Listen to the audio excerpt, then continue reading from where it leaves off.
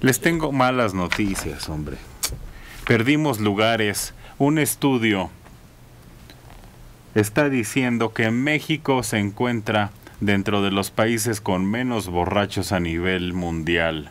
El primer lugar lo ocupa Escocia. Ah, claro. Yo he puesto mi granito de arena, pero pues creo que es insuficiente. México es uno de los países con menos borrachos en el mundo. El estudio que engloba 32 países colocó a México en el número 29 de la lista. Uy. La encuesta define estar borracho como haber bebido tanto que las facultades físicas y mentales de una persona se alteren al punto de que el equilibrio y el habla se ven afectados. Sí saben de qué les hablo. No, No, nos han platicado. Además de no poder concentrarse en las cosas, conversación o comportamiento. Entre los países encuestados que afirmaron no haberse emborrachado en el último año ni una vez, se encuentran Portugal, Argentina, Colombia, México y España. Los países que se emborrachan más veces, ahí va, listos, apuntamos. Escocia, Inglaterra, Australia, Dinamarca y Finlandia. Irlanda, ¿no? No, ¿Y Rusia tampoco? no. Qué raro. Ay, se me hace que es la encuesta de mentiritas, ¿eh? A ver qué Suena- país dice más mentiras.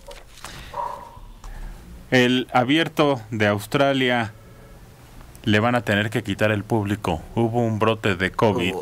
Y estaban jugando con público los tenistas. Pues Serena, que dio un saque de 200 kilómetros por hora. Es increíble. 200 kilómetros le pegó no a es la un bola. saque, eso es un cañonazo. Ándale, un balazo, un escopetazo. Va a ser sin público por un brote. Y además van a eliminar a los jueces de línea ya. Porque van a poner computadoras para decir que haya menos gente ahí. Y así poder jugar con más Y tranquilidad. eso solo va a anticipar que Bueno, se van a no hay- suspender los Juegos Olímpicos. ¡Ah! Un niño de 12 años se tragó 54 imanes. Quería pegarse cosas en la panza. Ay, Dios. Y entonces se tragó los imanes. Quería convertirse en Magneto. Esto pasó en, en la semana, esto pasó hace dos días, tres días. Hace tres días, para la policía de Nashville confirmó, un youtuber quiso fingir un asalto para su canal de YouTube. Lo mataron, pensando que era de verdad el asalto. Claro. Ese es el mundo que estamos viviendo. Ay, Es que Ah. si lo vas a fingir, te pones de acuerdo con el asaltado. sí. No, no, no llegas y lo sorprende. Va a celebrar 100 años la radio este fin de semana. El coronavirus en México hizo de este un oasis. Aquí lo había dicho Mario Méndez Acosta, como muchos extranjeros en donde su país había restricciones y decían, pues me voy para México. Y sí, llegaron muchos, no solo turistas normales, sino famosos destinos como Cancún, Acapulco, ¿se acuerdan que en Acapulco estuvo Plácido Domingo? Plácido Domingo recuperándose sí, sí, del sí. COVID. Y sí, muchos dicen que venían a México, venían hasta enfermos. Como les habían diagnosticado COVID y les decían que se tenían que encerrar durante un mes, la gente prefería encerrarse en Cancún que en su casa en Nueva York, en California, en qué sé yo. Y ahora están diciendo que mucho del turismo que tuvimos y por eso puede que sean los problemas que tenemos en Cancún. Miles de turistas vinieron a refugiarse a México como un paraíso anti-COVID. Ayer era el Día Internacional de la Mujer y la Niña en la Ciencia y el CONACYT dijo en un mensaje la labor de las parteras y de las que soban es reconocida y que lo atacan porque dijeron, pues que estamos, estamos hablando de la mujer en la ciencia, pero les quiero decir que mi abuela fue partera, pero estudió en la Universidad de Guanajuato. Claro. Sí, sí, sí, no, no era eh, así totalmente lírica como No. muchas de las que- Y, y a la, sale ahí una que está curando el empacho en su imagen.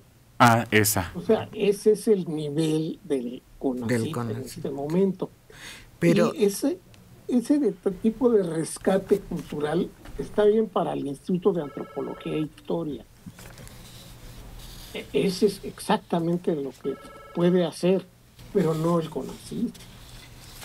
Pero de- durante mucho tiempo el título era médico cirujano partero. Sí, también. Por eso, porque era así lo así era el título, así era la carrera. No, había una Sí. carrera. Sí. Eh, Yo tengo el título de mi abuela. No es cirujano, es nada más partero.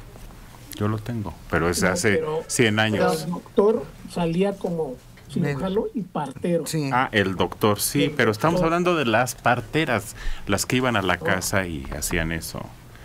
El otro día platicamos en Guadalajara, Tototlán, que hay una mujer que fue a denunciar a un hombre que le estaba haciendo, pues, insinuaciones, hostigamiento sexual.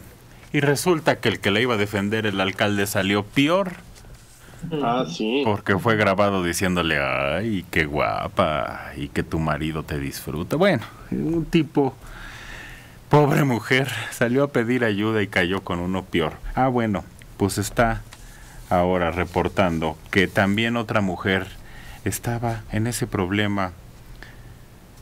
Uno de los que está denunciando es una persona que era auxiliar de este funcionario, que es el jefe de padrón y licencias. Dice que en una reunión la obligaron a decir que era lesbiana. Insistieron, la obligaron, la inquirieron tanto. Y que cuando ella dijo que sí, él se levantó y le dio un puñetazo. Frente a 10 funcionarios que estaban ahí. No pasó nada. Ahora este asunto está volviendo a salir a la luz. A ver si se puede arreglar.